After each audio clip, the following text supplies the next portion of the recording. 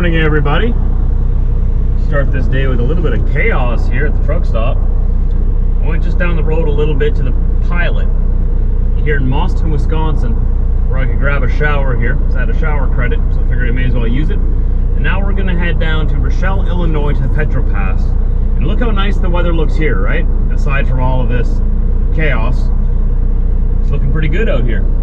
Oh, another truck coming out. Of course, right when I want to leave, that's when everything gets jammed up. Every time.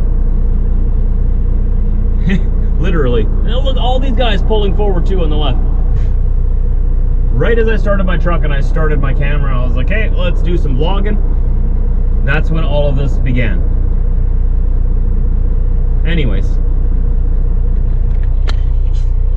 How you guys doing?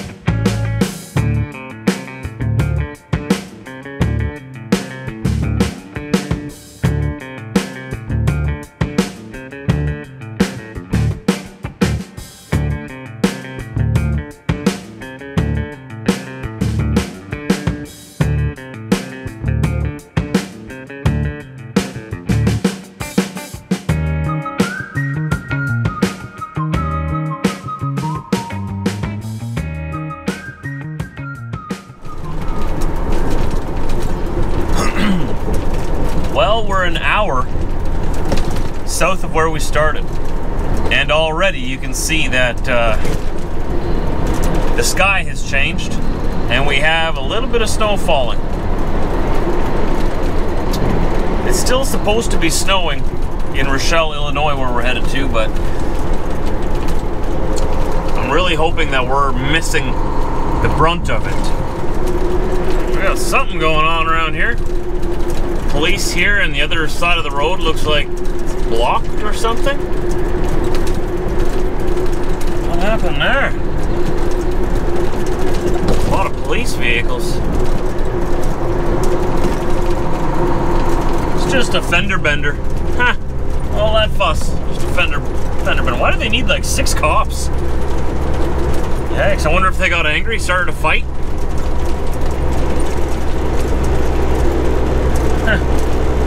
What kind of car is this coming up? Oh, this is a Tesla. This is one of those new Teslas. Check this out. Oh, wait. Well, come on, pass me. I want to show you to my... Why are you slowing down? This car was right beside me and slammed on their brakes because this cop was turning around. Right there. Okay, here she comes. I actually really like these Teslas.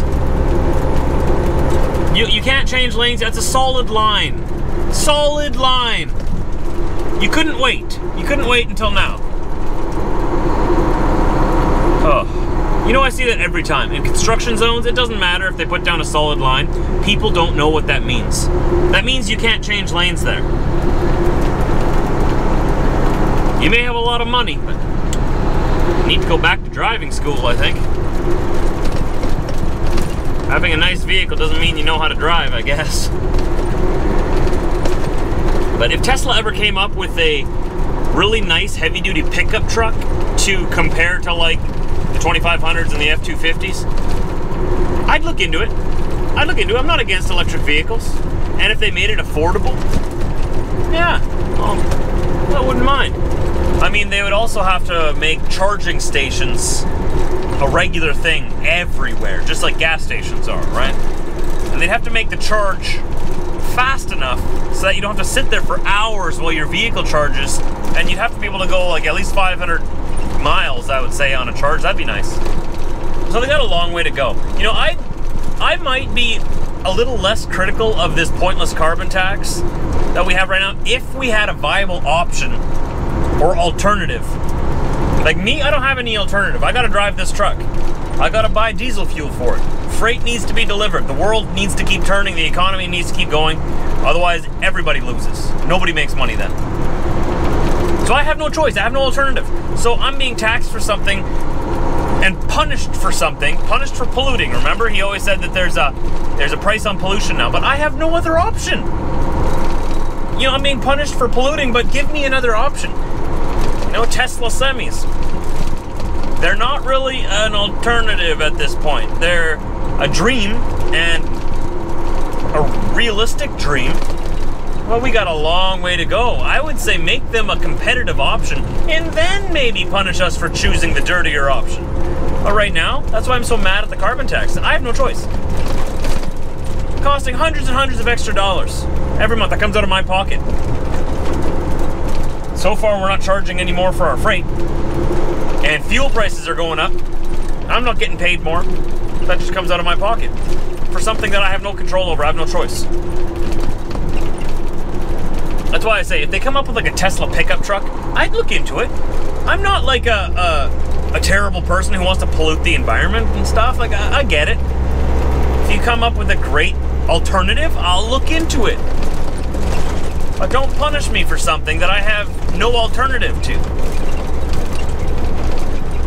Guys understand what I'm saying? Yeah, you understand what I'm saying. These roads are really rough here. Yikes. We're getting close to the border with Illinois. I'm gonna pull into this rest area here, actually. It's getting a little snowier. Can't read these signs because they're covered in snow. Trucks this way. Okay, can barely read it there. Oh, there's a whole bunch of dump trucks in the ditch here. Check this out. Heavy duty dump trucks just hanging out. Look at that. I wouldn't mind driving one of those. That'd be fun. Wonder why they just leave them here in the ditch on the on the grass you know, the, the sod. Wrecking the grass. And I think this is a good spot right here. I'm not stopping for too long. I just need a bathroom break and stretch my legs a bit. We have one more hour to go approximately. I want to get there as soon as possible. There is a fire truck coming into the rest area.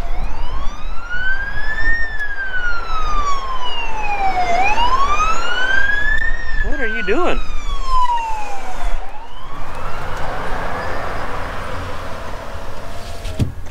Huh.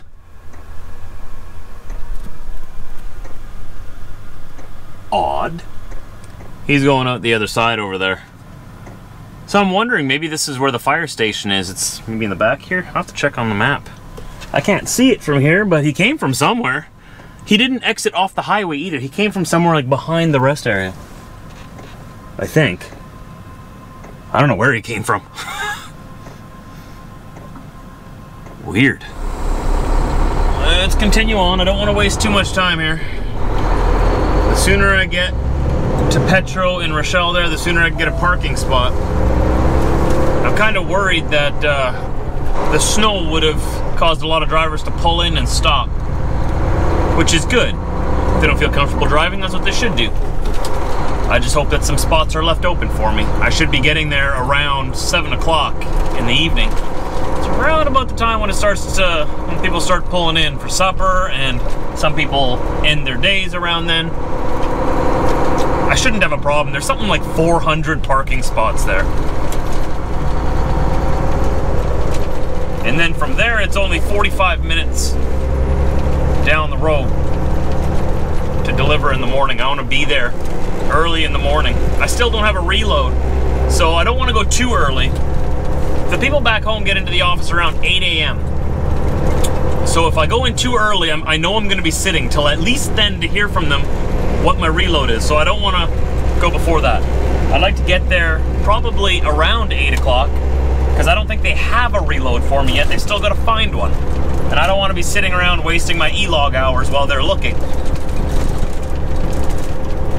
So if I get there around 8 a.m., I'll be unloaded by 8.30. That'll have given them about a half hour to settle in to work, get their Monday morning started, and and start looking for stuff for me. So hopefully by around about 9 o'clock, I know which direction I should head. Or maybe even 8.30, depends how quick they are. I want to be ready for them at 8.30 though.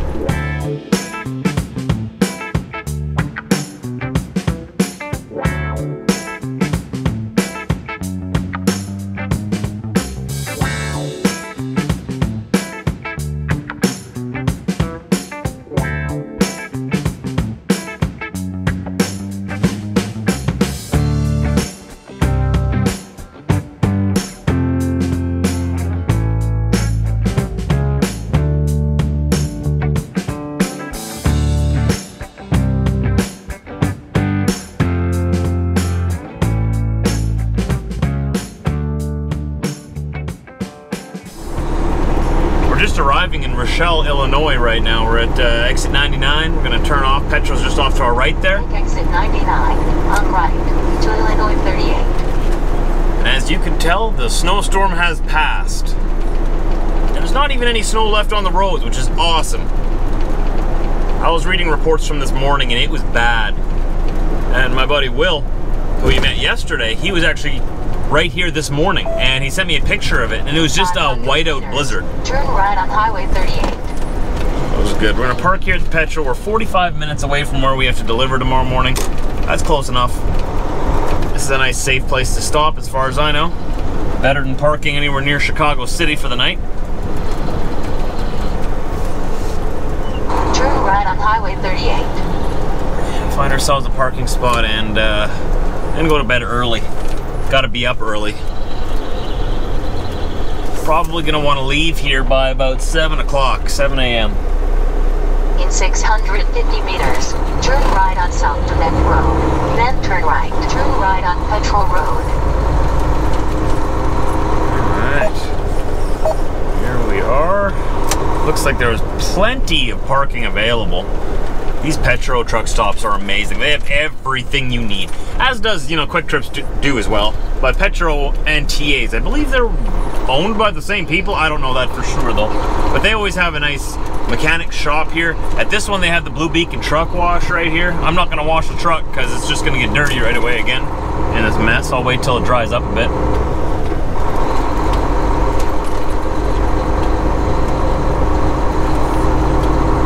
Wow, yeah, there's tons of parking here. Tons. All this to the right is reserved parking. Because why not, right? Make some money. Make us pay for I'm not paying for parking. I'll tell you that right now. I'm not paying for parking. Nope. I want to park in a good spot where uh, I am confident that people are not going to back into me.